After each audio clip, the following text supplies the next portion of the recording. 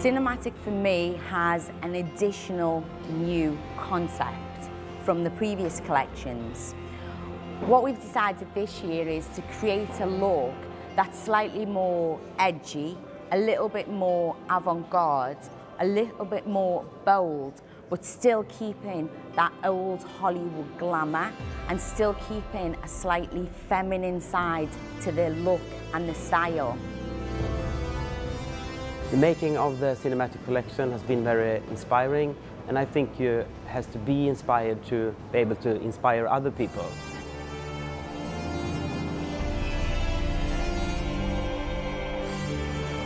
We are keeping our hairdressers very close to the fashion, uh, last fashion trends in the uh, hairdressing industry. I love the way that the images now are a lot more dramatic and the styling is a little bit more dramatic as well. You know, taking inspiration from the 50s and some of the most, you know, old Hollywood legends, Marilyn Monroe, you know, where beauty and glamour was very, very, very popular.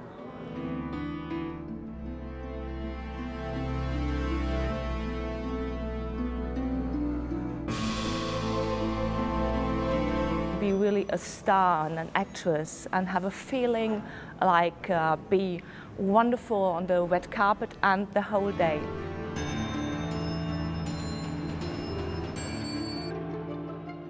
About the haircuts, haircuts is always about shape and texture and uh, many times we've been working with uh, a modern type of strong haircut combined with a, with a classic styling and I think that's that's a lot of uh, the cinematic collection.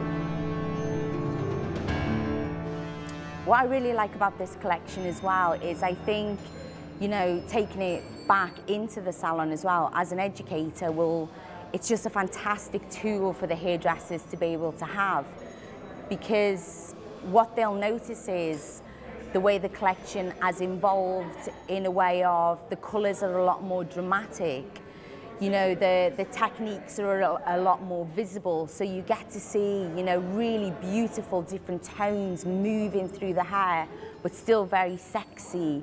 Um, and again, staying with that sort of 50s glamour and very feminine tones. We help hairdressers to be able to answer to uh, all expectation of their customers in the salon. As we know, the customers in the salon now, they know exactly what fashion is, and the hairdresser has to be able to do what they're expecting.